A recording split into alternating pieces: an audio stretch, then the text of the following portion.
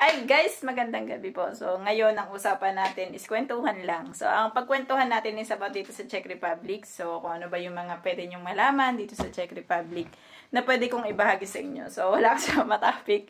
So kwentuhan lang tayo no guys. Pero iba-vlog ko to. So anyway, uh, kung ano ng topic ko ngayon. So, kagaya, una is tungkol sa sahod. So, magkano ang basic salary dito sa Czech Republic? So, ang basic po dito, as of now, as 2024 is uh, ah, 27,500. Pero, yun nga lang, may mga company kasi na hindi sila compliance or hindi lahat is nag, um, nagko-comply na 27,500 ang basic salary. So, bakit ganon? So, hindi ko rin alam kung bakit ganon. Siyempre, baka depende sa uh, city na pupuntahan nyo. So, depende rin. Kasi ako, ang aking basic po is nasa 25,900 Tama ba? 25,900. So, yun yung basic ko, which is ang basic ng Czech Republic is nasa 27,500.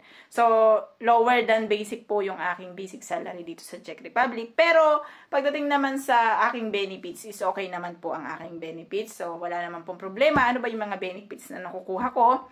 Ang benefits po kadalasan is uh, ah, 55-45 si company at saka ako sa pagkain. So, ano ba yung 55-45? So, ang 55-45 po is halimbawa si company is babayaran niya yung 55% ng kinain mo or meal mo doon sa canteen. Tapos yung 45% naman is ako yung magbabayad. So, that means kung sa loob ng isang buwan po is naka meal ako ng nasa 2,000, yung 55% nun is babayaran ni company, 45% is babayaran ko. Same as that. Parang ganun yung scenario. So, ano pa yung benefits ko?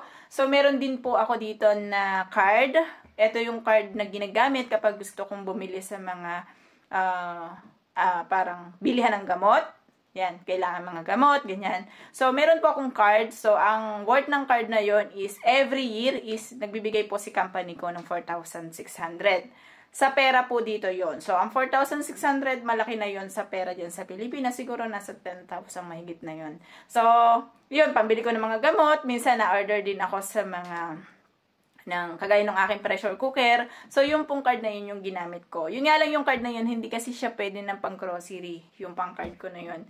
So, pang gamot ko lang, tapos kung may gusto ako, bumili ako ng halimbawa yung pressure cooker nga, tapos nakakabili rin ako ng kettle, yung mga ganon. So, gamit ko yung card ko na yun. It depends kung may laman yung card mo. So, every year yon sa amin naman, every 6 months nilalagyan. So, 2,000 mahigit, 2,000 mahigit. Pero ang total nun sa 1 year is nasa 4,600 crowns. So, ano pa ba? So, dito din sa Czech Republic, so asahan nyo po na ang tax nyo Uh, I'm not sure kung 15% o 20% ang kuha nila sa tax dito sa Czech Republic. Pero, uh, Kapag ang akin pong sahod is inaabot ng nasa uh, ah, 23, no, uh, pumapalo ng 28k crowns, crowns to ha, So, ang akin pong kaltas niyan is nasa 500, ah, 5,000 crowns. So, pinakawala kapag ganun yung akin sinahod, yung naging gross ko. Pinakawala po is sumasahod ako ng 23,000 crowns.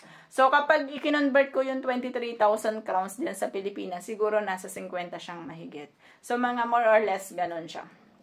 Yan, ano pa ba? So, dito rin sa Czech Republic, syempre, it depends sa company nyo, kung yung benefits nyo kagaya ng accommodation is free. Yan.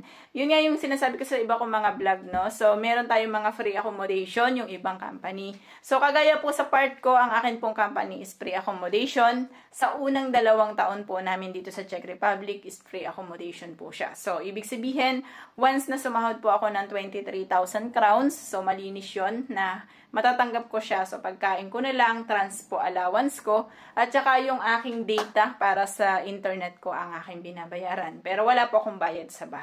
Yun nga lang, after 2 years, so, syempre, may bayad na yung bahay kasi yun lang yung nakalagay sa kontrata namin eh. So, yung first 2 years namin dito sa, sa company namin, yun, so, free accommodation kami. So, magkano ba yung accommodation dito sa Czech Republic? So, kapag solo ka kasi malala kasi nasa 7,000 or 8,000 crowns ang mga solo. So, mura na nga yung 7,000 sa ngayon. So, minsan 8,000, 9,000 crowns ang solo. So, kapag naman ikaw ay may kasama, so dalawa kayo sa isang room, minsan nasa 10,000 or 11,000 crowns. So, paghahatian nyo yun, ibig sabihin, tig 5,000 crowns kayong dalawa. So, kukunin mo yon sa sinasahod mo. So, ganun yung scenario ko before sa una kong company. So, hindi po kami free accommodation. So, kami ang nagbabayad sa accommodation namin, which is 6,500 crowns per head po binabayaran namin.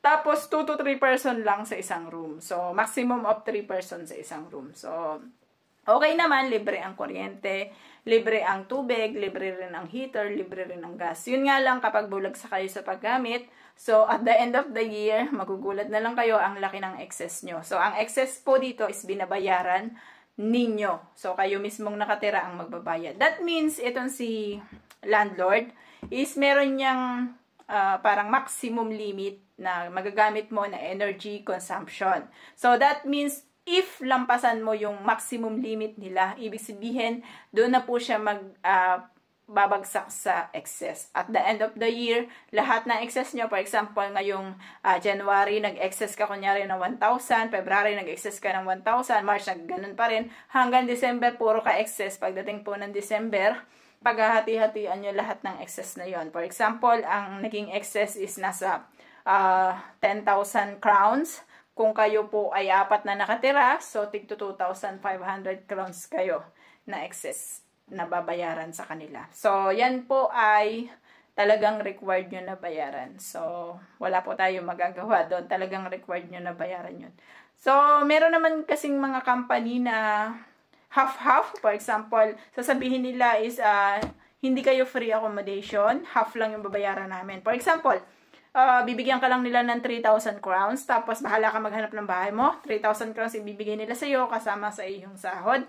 I-add nila sa iyong sahod. And then, yung 3,000 crowns na yun, syempre, pambayad mo ng iyong bahay kung ang nakuha mo is uh, ah, 7,000 crowns na bahay. So, from your salary, kukuha ka ng 4,000 pandagdag doon sa bahay sa bahay. So, got it? So, yun lamang yung explanation. And then, ano pa ba? Ano pa ba mga pwede nyo malaman dito? So, madali po ang transportation kapag sa city kayo. So, may mga bus naman. Kahit sa province, may mga bus. Yun nga lang, mas maganda talaga ang transpo kapag sa city. So, nakatira na kasi ako one time sa city. So, mas convenient para sa akin ang city compared dito sa pwesto ko ngayon na pro- province talaga siya.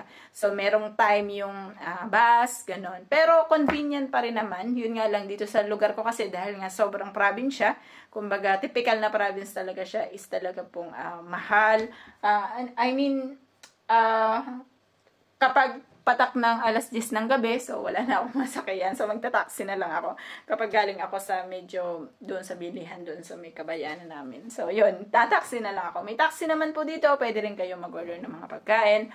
Kagaya ng typical dyan sa atin sa Pilipinas. Yan, lagyan natin ng part 2, no? Itong ating vlog natin ngayon. So, kwentuhan lang to, pero baka sakali na mayroon kayong matutunan sa ating pagkukwentuhan. Yan. Lagyan natin ng part 2, no, guys? Part 2.